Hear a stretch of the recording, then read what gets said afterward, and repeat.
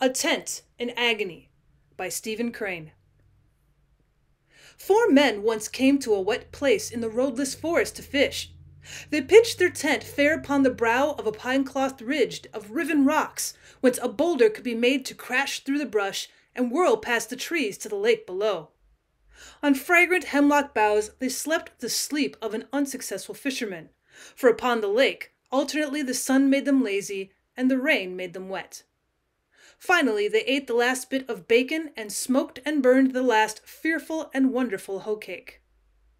Immediately, a little man volunteered to stay and hold the camp, while the remaining three should go to Sullivan County, miles to a farmhouse for supplies. They gazed at him dismally. Well, there's only one of you. The devil make a twin, they said in parting malediction, and disappeared down the hill in the unknown direction of a distant cabin. When it came night and the hemlocks began to sob, they had not returned. The little man sat close to his companion, the campfire, and encouraged it with logs. He puffed fiercely at a heavy built briar and regarded a thousand shadows which were about to assault him. Suddenly he heard the approach of the unknown, crackling the twigs and rustling the dead leaves. The little man arose slowly to his feet. His clothes refused to fit his back. His pipe dropped from his mouth. His knees smote each other. Ha! he bellowed hoarsely in menace.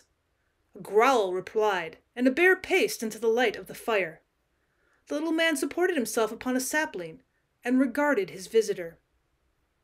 The bear was evidently a veteran and a fighter, for the black of his coat had become tawny with age. There was confidence in his gait and arrogance in his small twinkling eye. He rolled back his lips and disclosed his white teeth. The fire magnified the red of his mouth. The little man had never before confronted the terrible, and he could not wrest it from his breast.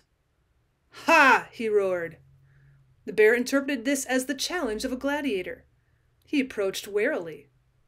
As he came near, the boots of fear were suddenly upon the little man's feet.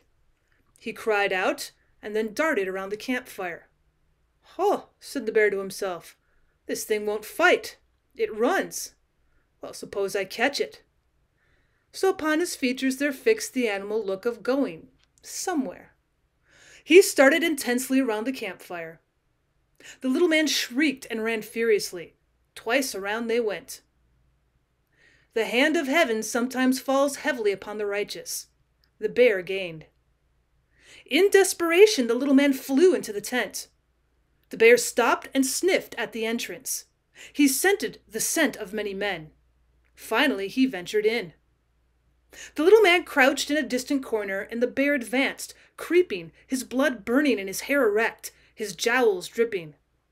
The little man yelled and rustled clumsily under the flap at the end of the tent.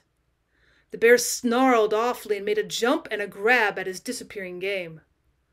The little man with now without the tent felt a tremendous paw grab at his coat tails. He squirmed and wriggled out of his coat like a schoolboy in the hands of an avenger. The bear bowled triumphantly and jerked the coat into the tent and took two bites, a punch, and a hug before he discovered his man was not in it. Then he grew not very angry, for a bear on a spree is not a black haired pirate. He's merely a hoodlum. He lay down on his back, took the coat on his four paws, and began to play uproariously with it. The most appalling, blood curdling whoops and yells came to where the little man was crying in a tree top and froze his blood. He moaned a little speech meant for a prayer and clung convulsively to the bending branches. He gazed with tearful wistfulness at where his comrade, the campfire, was giving dying flickers and crackles. Finally, there was a roar from the tent which eclipsed all roars, a snarl which it seemed would shake the stolid silence of the mountain and cause it to shrug its granite shoulders. The little man quaked and shriveled to a grip and a pair of eyes. In the glow of the embers, he saw the white tent quiver and fall with a crash. The bear's merry play had disturbed the center pole and brought a chaos of canvas upon his head. Well, now the little man became the witness of a mighty scene. The tent began to flounder. It took flopping strides in the direction of the lake. Marvelous sounds came from within rips and tears and great groans and pants.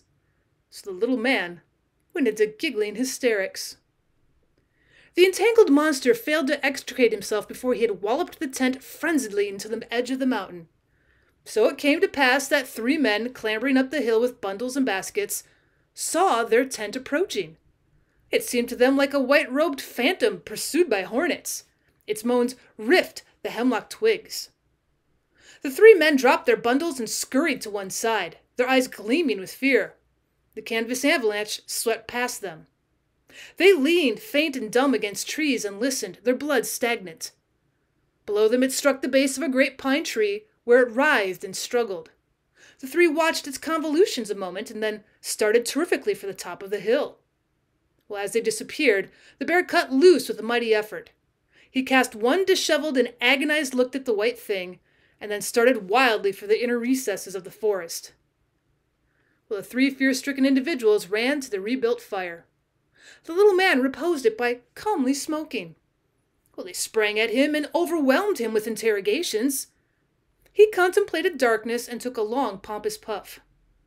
There's only one of me, and the devil made a twin, he said.